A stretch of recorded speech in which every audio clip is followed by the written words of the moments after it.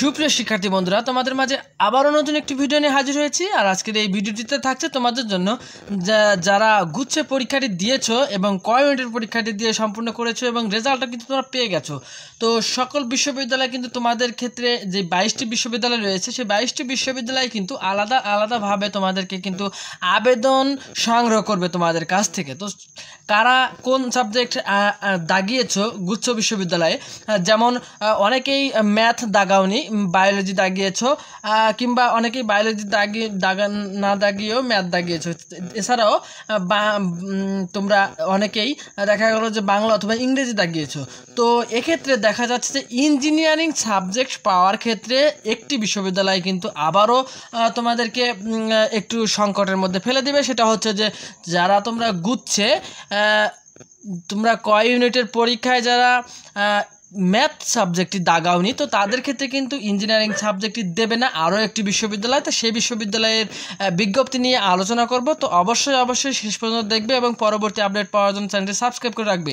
আরও একটি কথা বলে রাখি, এখন পর্যন্ত কোন কোন বিশ্ববিদ্যালয়ের শর্তগুলো প্রকাশ করেছে এবং তাদের শর্তে আসলে ম্যাথ না দাগিয়ে কারা সাবজেক্ট পাবে এবং কারা পাবে না সে বিষয় নিয়ে আলোচনা করব ভিডিওটি শেষে। তো অবশ্যই অবশ্যই ভিডিওটি শেষ পর্যন্ত দেখবে এবং পরবর্তী আপডেট পাওয়ার জন্য আবারও বলছি চ্যানেলটি সাবস্ক্রাইব করে পাশে থাকা বেলাইকনটি বাজিয়ে রাখো। তো চলো শুরু করা যাক।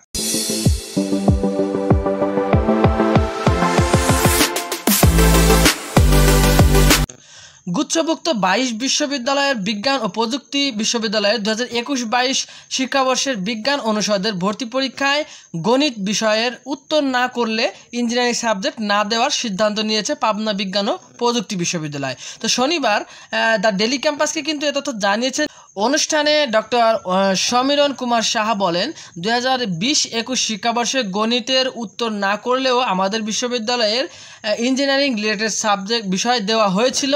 তো তবে এবার এই সিদ্ধান্ত থেকে সরে আসা হয়েছে। এবছর যারা গণিতের উত্তর করেনি, তারা এবার ইঞ্জিনিয়ারিং রিলেটেড সাবজেক্ট পাবে না। তিনি আরও বলেন যে, পাবনা বিজ্ঞান ও প্রযুক্তি বিশ্ববিদ্যালয় সবসময় শিক্ষার্থীদের নিয়ে চিন্তা করে, গত বছর যে ভুলগুলো হয়েছিল সেটি থেকে বেরিয়ে আসার চেষ্টা করছে। তো এক্ষেত্রে তোমাদের মতামতটা কি? অবশ্যই কমেন্ট বক্সে তোমরা জানিয়ে দিতে পারো যে আসলে গতবার কেন তারা গণিত না দাগি, যারা দাগায়নি, তো তাদেরকে কিন্তু ইঞ্জিনিয়ারিং সাবজেক্ট দিয়েছে, কিন্তু হঠাৎ করে এবার কেন তারা দিবে না? তো এ বিষয়টি আসলে শিক্ষার্থীদের ক্ষেত্রে কোন ধরনের ইফেক্ট ফেলবে সেটা শিক্ষার্থীদের মতামত দেখলেই বোঝা যাবে। তো এছাড়াও দেখা যাচ্ছে যে ঢাকা গুচ্ছ পরীক্ষার যে প্রতি বছরই কিন্তু একটা গরমিল থেকে যাচ্ছে। সেটা হচ্ছে যে সব কিছুরই একটা সুনির্দিষ্ট নিয়মের ভিতরে থাকা উচিত আসলে। যেমন গত বছর অনেকেই গণিত না দাগিয়েও কিন্তু ইঞ্জিনিয়ারিং সাবজেক্ট রিলেটেডগুলো পেয়ে রিলেটেড সাবজেক্টগুলো কিন্তু পেয়েছে। সেক্ষেত্রে কিন্তু এবারও অনেকে আশা করেছিল যে আসলে গণিত না দাগিয়েও হয়তো বা ইঞ্জিনিয়ারিং রিলেটেড সাবজেক্ট পাবে। সেক্ষেত্রে অনেকেই গণিতটা স্কিপ করেছে। কিন্তু এখন দেখা যাচ্ছে যে রেজাল্ট ভালো করার ভালো করার সত্ত্বেও কিন্তু তারা গণিত সাবজেক্ট কিংবা ওই ইঞ্জিনিয়ারিং রিলেটেড সাবজেক্টগুলো কিন্তু তারা পাচ্ছে না। তো সে, এক্ষেত্রে কিন্তু ছাত্রদের মনটা ভেঙে যাওয়ার সম্ভাবনা থেকেই যায়। তো প্রসঙ্গত যে এর আগে কিন্তু মাওলানা বিজ্ঞানী সরি মাওলানা ভাসানী বিজ্ঞান ও প্রযুক্তি বিশ্ববিদ্যালয় এবং বরিশাল বিশ্ববিদ্যালয়ের উপাচার্য ভর্তি পরীক্ষায় গণিতের উত্তর না করলে ইঞ্জিনিয়ারিং বিষয় না দেওয়ার সিদ্ধান্তের কথা কিন্তু জানিয়ে দিয়েছেন। অর্থাৎ এই বিশ্ববিদ্যালয়টি দিয়ে মোট তিনটি বিশ্ববিদ্যালয় পাওয়া গেল যারা গণিত না দাগালে তাদেরকে ইঞ্জিনিয়ারিং সাবজেক্ট দিবে না। তো এর পরবর্তীতেও কিন্তু আরও কিছু বিশ্ববিদ্যালয়েও কিন্তু এসব ধরনের সিদ্ধান্ত নিতে পারে। তো অবশ্যই চ্যানেলটি সাবস্ক্রাইব করে রাখবে এবং পরবর্তী আপডেট পাওয়ার জন্য চ্যানেলটি সাবস্ক্রাইব করে পাশে থাকা বেল আইকনটি বাজিয়ে রাখবে, যাতে তুমি পরবর্তী আপডেটগুলোও পেয়ে যেতে পারো। আর যাতে তোমাদের যদি দেখা গেল যে তোমাদের গণিত ছাড়া যেসব বিশ্ববিদ্যালয় ইঞ্জিনিয়ারিং সাবজেক্ট দেবে না, সেসব বিশ্ববিদ্যালয়ে দেখা গেল অহেতুক তোমরা দেখা গেছে যে তোমরা আবেদন করে রাখছে কিংবা সেই বিশ্ববিদ্যালয়ে আশা করে রাখতে পারো। কিন্তু সেটা একেবারেই ভুল হবে। তো সেজন্য এই চ্যানেলটি সাবস্ক্রাইব করে রাখবে আর গুচ্ছ কিংবা সকল বিশ্ববিদ্যালয়ে কিন্তু আপডেট তথ্যগুলো এই চ্যানেলের মাধ্যমে কিন্তু দেওয়ার চেষ্টা করি। তো অবশ্যই অবশ্যই সাথেই থাকবে।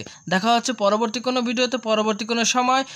যতক্ষণ পর্যন্ত ভালোই থাকবে, সুস্থ থাকবে এবং অত টেনশন করার দরকার নাই। তোমরা গুচ্ছের যে বাইশটি বিশ্ববিদ্যালয় রয়েছে যে কোনো দ্বিধাদ্বন্দ্ব না করে যতটুকু, যত, যতটুকু বিশ্ববিদ্যালয়ে তোমরা আবেদন করতে পারবে, যে কয়টি বিশ্ববিদ্যালয়, সব কয়টিতে কিন্তু আবেদন করে রাখবে।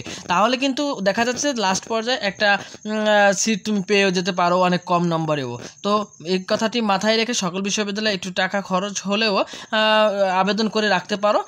ধন্যবাদ। দেখা হচ্ছে পরবর্তী কোনো ভিডিওতে। ধন্যবাদ। আবারও বলছি, ধন্যবাদ। তোমরা পরবর্তীতে দেখা করো অন্য কোনো ভিডিওতে।